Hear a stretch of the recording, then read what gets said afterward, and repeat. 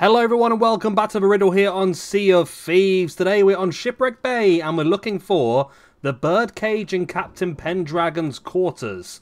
Now we are currently here on Shipwreck Bay and we're parked just off the bay from the shipwreck.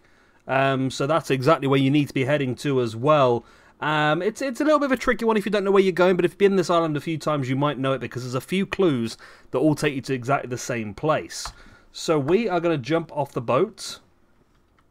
And we are going to be heading towards the shipwreck itself. So we're going to end up in the middle part of the shipwreck just here. And then from here you want to come across and climb this ladder. And this brings you up to the captain's quarters. And this is Captain Pendragon's office. And here is the birdcage. So what do I need to do? I need to play some music. Grace. And there we go. Done and dusted. That is Captain Pendragon's Birdcage. So hopefully that was useful for somebody. Of course, if it has been, make sure you hit that like button. Of course, subscribe uh, for some more of these. And of course, if you're struggling with anything else Sea of Thieves wise, check out the description down below. There'll be a link to the database we're currently creating for all of the Sea of Thieves clues. And hopefully we can be a one-stop clock, a one, a one-stop shop for your Sea of Thieves needs. That's what I'm trying to say.